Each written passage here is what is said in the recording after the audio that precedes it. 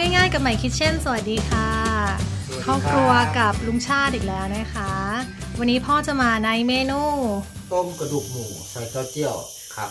ซี่โครงหมูพ่อ เออกระดูกหมูที่โครงฮะละผมใส่ละ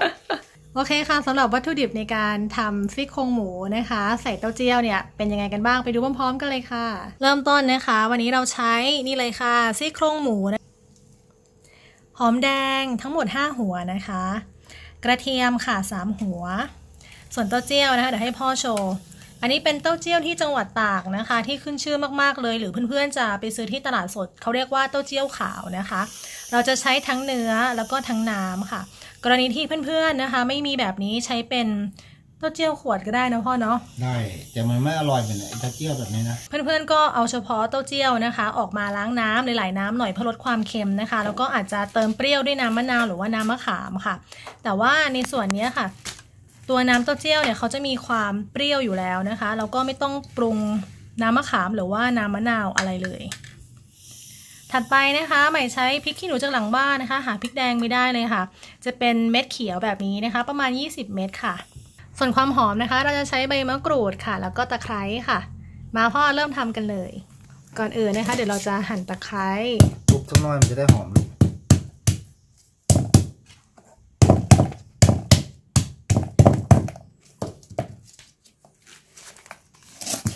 หั่นเฉียงนะคะ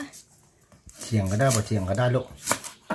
เป็นก้อมๆ คือเป็นชิ้นๆ เป็นแว่นๆ นะคะ ตะไคร้นี่ก็สามหัวค่ะ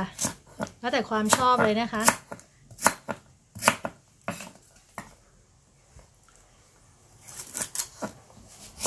ก็กินชอบจุดตะไคร้กลินมันหอมดีหรอกพ่อบอกชอบดูดตะไคร้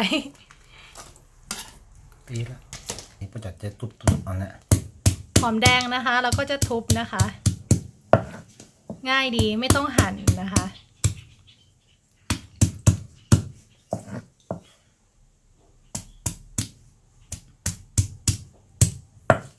อันนี้จะเป็นสูตรพ่อเลยใช่ไหม สูตรบ้านๆลูกเป็นแนวบ้านๆนะคะ กับข้าวบ้านๆซี่โครงหมูใส่เต้าเจี้ยวเนี่ยค่ะคล้ายๆแนวต้มยำนะคะเพื่อนๆมันก็จะแซ่บๆเปรี้ยวๆเค็มๆนะคะ เครื่องปรุงวันนี้น้อยมาก อาจจะใส่แค่น้ำตาลทรายอย่างเดียวนะคะกระเทียมตุบๆพอละกระเทียมก็ทุบๆใช่ไหมแม่น มีสากอันเดียวนี่เอาอยู่ มันจะกระเด็นเดอใช้มีดก็ได้นะคะ บุบๆเอา แล้วแต่ ปุบๆที่กระป๋องเสียดายมันน่ะ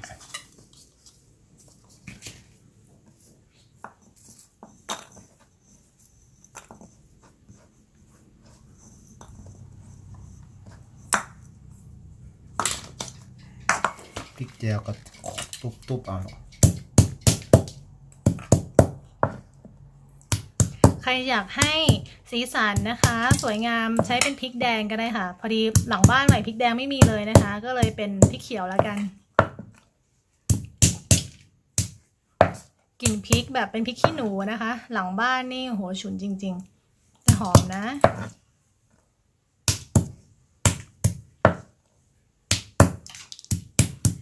วันนี้นะคะ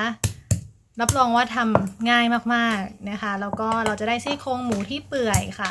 เนื้อยุ่ยนะคะ รูดออกมาได้ง่าย ๆเลย เพราะว่าเดี๋ยววันนี้เราก็จะเคี่ยวค่ะ ใช้เวลาเคี่ยวประมาณ 30 นาทีก็ได้นะคะ เคี่ยวแบบไฟอ่อนๆนะลูก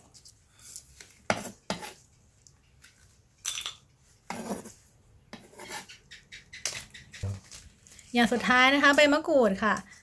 ก็ใช้วิธี เอาตรงก้านตรงกลางออกนะคะฉีกๆเอาค่ะง่ายดีแต่ฉีกมันจะได้หอมๆแต่บะขูดเที่ยวนี้มันอ่อนลูกมันบ่ค่อยแก่กินหอมมันก็อ่อนน้อย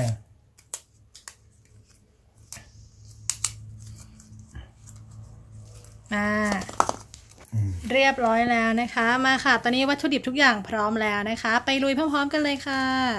น้ำเดือดและลูกพ่อจะเอาหอมกระเทียมหางใส่เข้าไปละปรุงเครื่องมัน ตามด้วยหหอมกระเทียม ตะไคร้ลูกตะไคร้นะคะ ตะไคร้ใบมะกรูดด้วยไหมใบมะกรูดอ่าเป็นเครื่องเครื่องต้มนะคะพริกแจวตุบลูก โอเคนี่ละเนี่ยค่ะทำง่ายมากคือใส่ทุกอย่างลงไปนะคะ ยกเว้นจะเจียวทีหลัง ใช่ซี่โครงหมูกับเต้าเจี้ยวนะคะ ก็จะเอากระดูกหมูใส่รอคือมันเดียดเห็นน้อย น้อยเดียวกำเดียวลูกน้อยเดียวนะคะ ก็คือนิดเดียวส่วนกำเดียวก็คือแป๊บหนึ่งนะคะ ต้องมีการแปลให้ใช่ไหมแม่นเราต้องรอให้น้ำเดือดจริง ๆนะคะ แล้วเราถึงจะใส่พวก ซี่โครงหมูลงไปเนาะสำหรับเพื่อนๆที่ไม่ได้ซีเรียสอะไรนะคะ เนื้อหมูเนี่ยไม่ต้องเอาไปลวกก็ได้ แต่ว่ากรณีที่อยากได้น้ำใสจริง ๆนะคะ เราต้องเอาพวกซี่โครงหมูกระดูกหมูเอาไปลวกน้ำก่อน เพื่อที่จะให้พวกเศษเลือดนะคะ ต่างๆเนี่ยมันหลุดล่อนออกไปอ่าต่อไปนะคะเดี๋ยวใส่ซี่โครงหมูลงไปเลยค่ะ แล้วเดี๋ยวเราก็จะปรับไฟนะคะ ให้เป็นไฟอ่อนเลย เราจะเคี่ยวซี่โครงหมูนะคะ ประมาณครึ่งชั่วโมงค่ะ แล้วเต้าเจี้ยวพ่อจะใส่ไปตอนไหนย่างรอเหรอให้หมูสุกก่อนอ๋อลูกรอให้หมูสุกแสดงว่าก็ต้องเคี่ยวตั้งครึ่งชั่วโมงเลยใช่ไหมแล้วค่อยใส่เต้าเจี้ยวทีหลังปรุงทีหลังแป๊บเดียวเองอ๋อโอเคค่ะทุกคนตอนนี้ใหม่เบาไฟแล้วนะคะ แล้วเดี๋ยวเราก็จะเอาฝามาปิดไว้ดีไหมพ่อ คนครับ เดี๋ยวเราเอาฝามาปิดไว้ก่อนนะคะคือมันแล้วก็จะเปิดดูเป็นระยะระยะ ถ้าสมมติช่วงที่น้ำเดือดอีกรอบนึงเนี่ยแล้วมันมีพวกฟองพวกอะไรเราสามารถตักเอาฟองออกได้นะคะ เพื่อที่จะให้น้ำมีความใสมากขึ้นค่ะ เดี๋ยวกลับมาดูกันค่ะโอ้ยเดี๋ยวลองเปิดดูนะคะ กลิ่นหอมมากๆเลยค่ะ เมื่อกี้ใหม่ได้พริกแดงมานิดหน่อยนะคะ นี่นะคะต่อไปค่ะเราจะใส่เต้าเจี้ยวใส่ไปทั้งหมดเลยนะคะ ทั้งน้ำเนาะแล้วก็ทั้งเยื่อทั้งเนื้อนะคะ คนให้เข้ากันนะคะ แล้วเดี๋ยวเราชิมรสชาติค่ะ ไม่ว่าเดี๋ยวต้องปรุงเพิ่มนะคะ เปรี้ยวแล้วค่ะ เปรี้ยวแล้วก็หอมเต้าเจี้ยวนะคะ เดี๋ยวใส่น้ำตาลทรายลงไปค่ะ สัก 2 ช้อนโต๊ะนะคะ จากนั้นนะคะใส่น้ำตาลทรายค่ะ 2 ช้อนโต๊ะนะคะ แล้วก็คนให้ละลายเข้ากันก่อน สุดยอดนะ very good เลยฮะ very good หวานหวานไหม ไม่หวานไม่หวานแล้วพพออดีดีใส่ไปอ่อนสองครีมช้อนหรือเปล่าโต๊ะใช่ขาดเค็มไปหน่อยนึงใส่ซีอิ๊วขาวดิหรือว่าใส่พ่ออยากใส่น้ำปลาหรือใส่ซีอิ๊วขาวซีอิ๊วขาวมันหอมกว่าอืมเอาซีอิ๊วมาก็ได้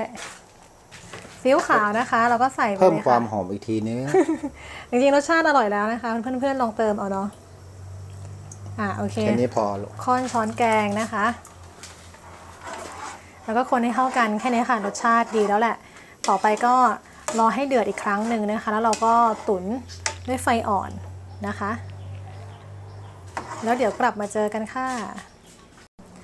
ตอนนี้นะคะสังเกตว่าพอเริ่มเดือดเนี่ยมันจะมีฟอง เพราะเราเพิ่งใส่เต้าเจี้ยวลงไปนะคะเพื่อนๆสามารถเนี่ยค่ะช้อนฟองออกมานะคะ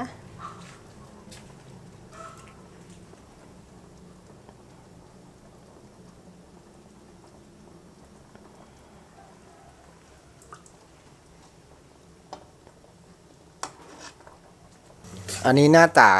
ต้มไอ้ซี่โครงหมูครับ ก็จะปลงลงปิดแก๊สแล้วเนี่ย หน้าตาน่ากินมากเลยนะคะ แล้วก็เนี่ยค่ะกำลังเดือดเดือดๆรสชาตินี่เหมือน confirm จริงๆนะคะเพื่อนๆว่าถ้าลองทำตามสูตรนี้แล้ว ข้าวหมดหม้อบนไหายแน่นอนแม่น ถ้ามาตักจะทำให้กิน โอ้แต้กาแต่ได้ที่แล้วเนาะพ่อเนาะได้แล้วลูกโอเคค่ะ โชว์โชว์นิดนึง โชว์ให้เห็นซี่โครงนะคะเนี่ยซี่ค่ะโครงหมู น่ากินนะลูกเนาะตุ๋นมาตุ๋นเรื่อยๆนะคะ30 40 50นาทีนะคะแม่นลูกยิ่งตุ๋นนานก็จะยิ่งเปื่อยค่ะ วันนี้ข้าวหมดหม้อหมดหอยแน่อะลูกแน่นอนค่ะ แน่นอนอยู่แล้วพ่อแม่นโอเคค่ะทุกคนเสร็จเรียบร้อยแล้วนะคะเอาพ่อโชว์โชว์กระดูกโชว์ซี่โครงให้ดูหน่อย ฝากกดไลค์กดแชร์ตัวเด้อกับข้าววันนอกวันนอกครับ มีการอ้อนวอนนะคะ เนี่ยค่ะเพื่อนๆหน้าตาก็จะน่ากินมากๆ โดยเฉพาะช่วงนี้ฝนตกนะคะ อากาศก็จะเย็นๆ เราก็จะซดน้ำร้อนแม่นๆเดี๋ยวเราไปกินข้าวกันเลยนะพ่อแม่นหิวละ โอเคค่ะ ขอลาไปกับต้มหม้อนี้นะคะ เพื่อนๆ ขอให้ทุกคนมีความสุขกับการทำอาหารสำหรับวันนี้ พ่อกับใหม่ลาไปแล้ว สวัสดีค่ะ สวัสดีครับ